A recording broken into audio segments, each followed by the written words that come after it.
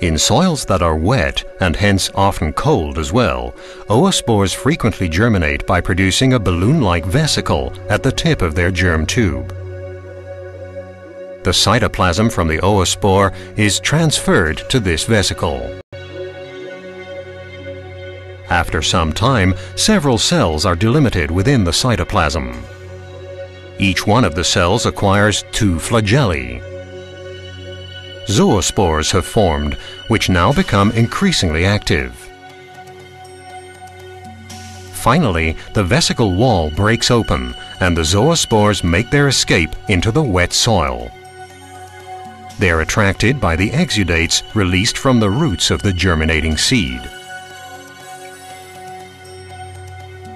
Near the tips of the roots, where the root hairs are formed, the zoospores attach themselves to the root surface.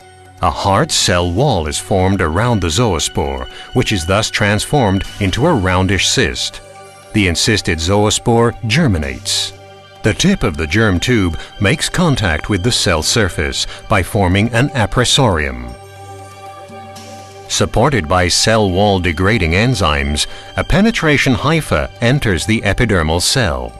Subsequently, the cells of the root cortex are colonized. Destruction of the cell walls causes the cells to collapse. Since the root hairs are destroyed as well, the root is no longer capable of absorbing water and nutrients from the soil. Moreover, these root lesions are potential points of entry for other soil-borne microorganisms. Thus, Pythium is part of a whole complex of root diseases which often mutually enforce each other.